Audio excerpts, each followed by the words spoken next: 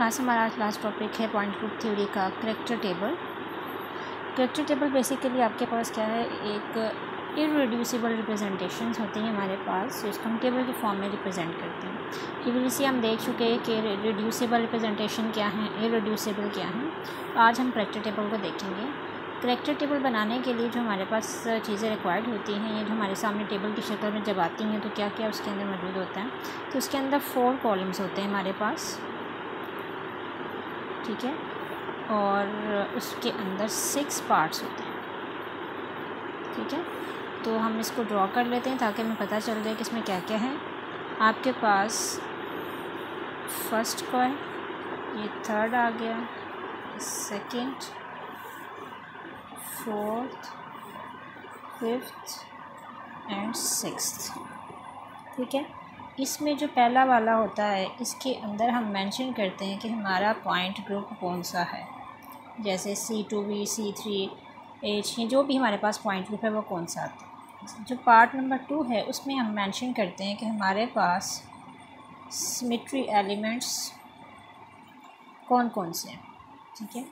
Part number three में हमारे पास कुछ सिंबल्स होते हैं, जिन्हें हम मूलिकन सिंबल्स कहते हैं, वो हमारे पास आते हैं।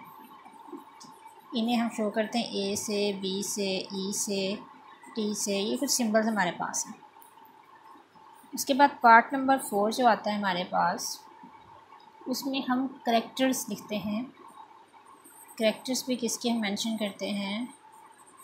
बेसिकली करेक्टर्स होते हैं हमारे पास irreducible representation I for irreducible representation ठीक है, उनके करेक्टर्स हमारे पास होते हैं।